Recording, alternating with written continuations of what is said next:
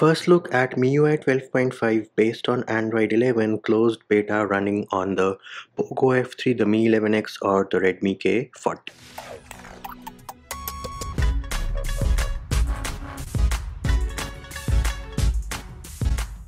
Hey peeps, what's up? Munchy here, back with another video and Xiaomi has started rolling out the closed beta of Android 12 based on MIUI 12.5 for the POCO F3, the Redmi K40 or the Xiaomi Mi 11X. Now for those of you who do not know, the Redmi K40 is sold as the Mi 11X in India and POCO F3 for the rest of the world and I do have the latest closed beta installed on my POCO F3 right now. So as you can see, this is MIUI 12.5. The build is from 13th October 2021 and if I go into all specs Android version you will notice here is 12 we do have the Android 12 Easter egg and other than that you will notice that the security patch is from September 2021 now we are going to address the elephant in the room and no this one does not have material you theming. What you get here is pure MIUI. So this is how the power menu looks like. This is your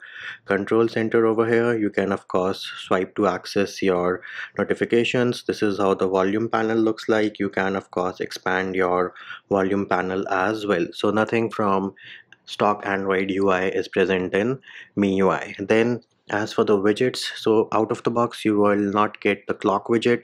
You do have to install the android 12 google clock 7.1 apk which is linked in the description of the video. And then if you press and hold on the empty space you will get this ui wherein if you tap on this option it is going to take you to your gallery. You can change the wallpapers and stuff. And if you go into widgets it is going to for starters connect to the internet. Yes to access your widgets on MIUI you now have to make sure your device is connected to the internet. Then the scrolling of course is pretty smooth on this and you ha will have to look for a section of apps with widget support. Tap on this it is going to open up another window or another pane. Herein if you look for clock you should get MIUI clock but if you go back and then go into classic widgets now scroll all the way down. Yep a pretty long way to get a small widget right? Anyways if you scroll all the way down you have the clock here and these are the widgets from google clock 7.1 for android 12 unfortunately you do not have the widget wherein you can choose the clock face but you do have the stopwatch and bam here it is.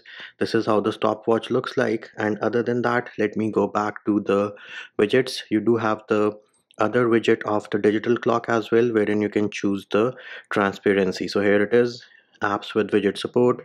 Wait for it wait for it keep on waiting okay finally got it. Of course this is a beta so these things are expected but here it is. So you can now choose your clock whether you want solid or do you want it transparent. Bam here it is.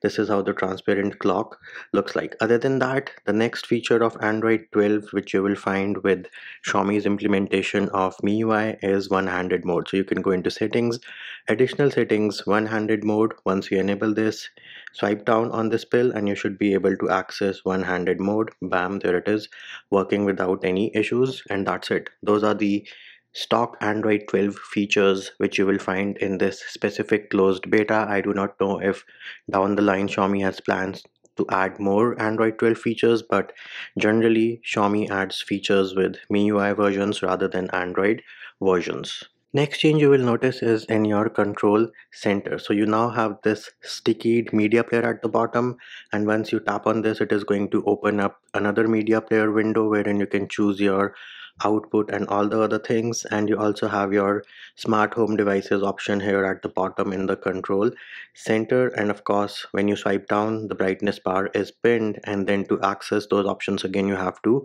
swipe up. Then we can move over to settings. So the settings UI is still the same something which you expect from MIUI. Now the previous build did not have the refresh rate option in display but this latest closed beta has those options. So if I go into refresh rate I can choose between 60 and 120 you can see on the top left I am running at 120 right now. Go into AI image option you have your MEMC and other options. So those options have now come back but nothing new.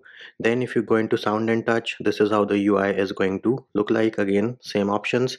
But if you go into touch you have something called natural touch. So when this is playing and you're holding your phone you will feel the vibration on your device. You can of course control your haptic feedback. And then if you go into demos you can choose between different configuration. Do you want crisp bass or pop? And again once you select each of these options it is going to give you a vibration feel so that you know how it feels in your hand. And you also have something called realistic touch. So this is something new which they are planning to add with the next MIUI update for your Poco F3 the Mi 11X or the Redmi K40 then if you go back into your settings page herein you will notice that this option has now changed to fingerprints face data and screen lock. I think previously it was fingerprints and screen lock and they have added back the option of fingerprint and face unlock and they are working without any issues here it is fingerprint works and similarly face unlock is also working on this specific build now. Next up if you jump over to battery. So herein you will notice you now have your profile options. So you have the performance mode and of course device performance will improve with this.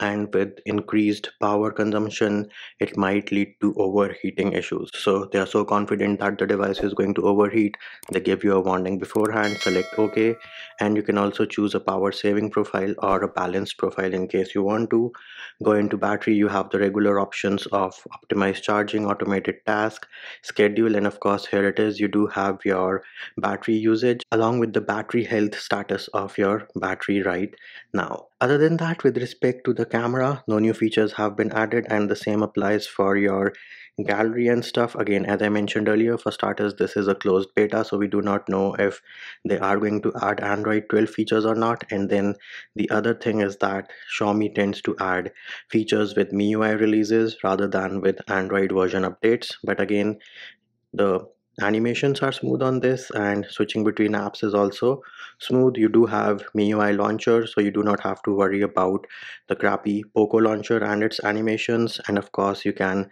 customize your launcher layout as well. So you do have memory status blur app previews arrange items in your recents horizontally or vertically. So bam here it is. Press and hold. You do get the options. And again the animations here are pretty smooth so far but we do not know how the final build or how the global build is going to look like and there it is peeps just a small preview of android 12 based MIUI 12.5 running on the Poco F3, the Mi 11X or the Redmi K40 and that will do it for this video.